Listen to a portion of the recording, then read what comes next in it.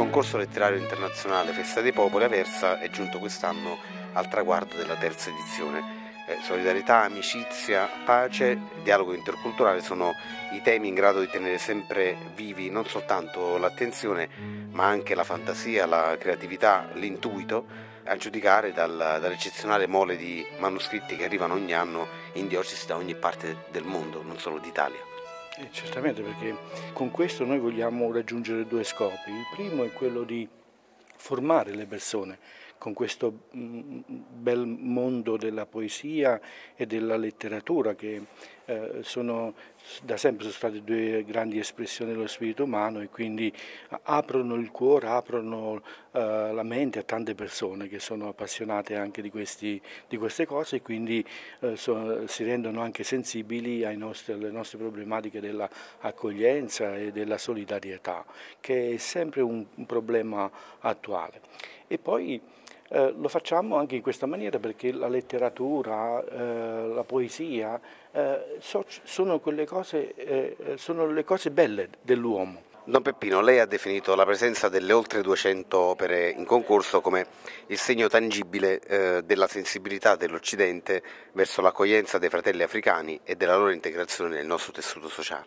Non solo, ma penso che eh, col tempo questa nostra iniziativa la Festa dei Popoli sta diventando, possiamo dire, un capitale umano, spirituale, eh, anche religioso, importantissimo. Ogni uomo ha nei suoi cordi le possibilità di incontrare l'altro uomo e spesso, tra virgolette, la politica che vuole a tutti i costi limitare la libertà degli uomini, vuole liberare il loro pensiero, i loro sogni, la politica viene soppiantata dall'uomo, dalla persona, dal desiderio dell'uomo di incontrare l'altro uomo e di condividere un percorso anche di sofferenza, ma specialmente di amicizia e di dialogo tra tutti i popoli. Eccellenza, ehm, a quasi sei mesi dalla quinta edizione della Festa dei Popoli ci ritroviamo a discutere ancora di barriere, non solo le preoccupanti contraddizioni che arrivano da un'Europa sempre più frassagliata, ma anche le recenti barricate fatte a Gorino nel Ferrarese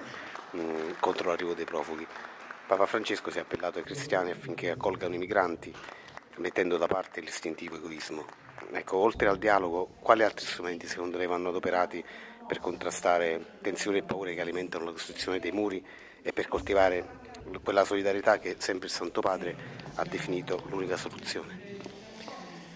Beh, credo che non, non, non, ce ne siano altri, perché il dialogo è, è, ciò che caratterizza gli esseri umani, è la possibilità che ci fa essere persone umane capaci quindi di, di guardare, di accogliere di, di, ciò che la vita ci propone, di pensare, di, di svilupparne una, una, una, sintesi, di guardare in prospettiva ad un futuro. Cioè, l'essere umano è l'unico tra gli esseri creati, possiamo dire, che è in grado di, orientare il suo futuro, di organizzare in qualche modo la, la, sua vita al di fuori di quelli che sono gli istinti e le, le, le, le, esigenze semplicemente della sopravvivenza.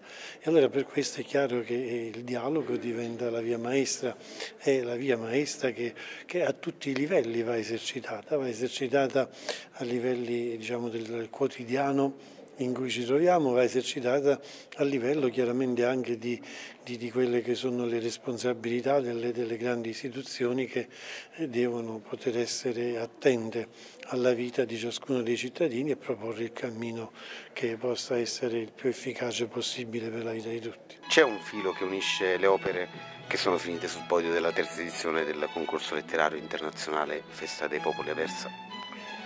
Beh, direi che non solo, per le tre opere che sono sul podio. C'è un filo che le unisce tutte, noi abbiamo avuto quest'anno 213 opere, 15 dall'estero e in tutte c'è una grande sensibilità di fronte ai grandi problemi che abbiamo oggi, l'immigrazione, eh, la, la povertà, diciamo, le sofferenze in genere. Eh, non è stato facile per i giurati, proprio perché eh, in tutti i racconti ecco, noi non cercavamo perfezioni stilistiche, cercavamo soprattutto appunto, dimostrazioni di, di sensibilità, di, di, di, voglia di fratellanza. Ho sempre scritto fin da ragazzina, favole. Non cronache diciamo. No, però nella favola ci si può mettere anche la realtà, certo. diciamo, la verità. Cioè, cosa provo qua? Sono molto contenta generalmente. Ho vinto parecchi premi,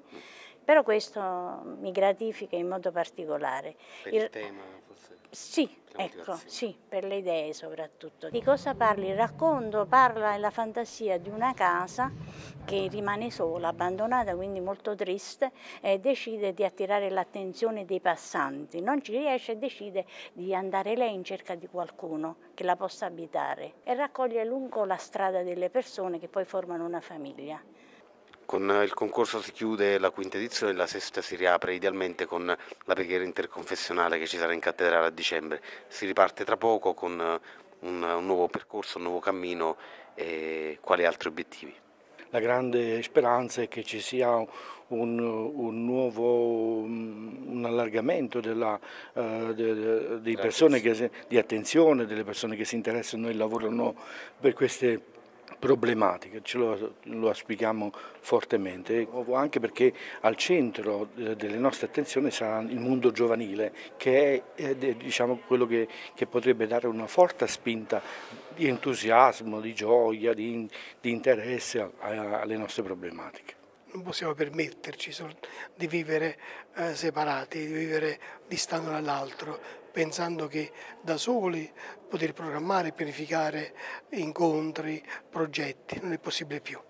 È possibile se mettendo insieme le varie anime, le varie iniziative, i vari incontri, le varie possibilità, i vari sogni, possiamo chiamare i sogni e sensibilità, i sogni, io posso dire i sogni dei vari uffici, veramente possiamo presentare una Chiesa viva, una Chiesa che lavora, una Chiesa che si impegna per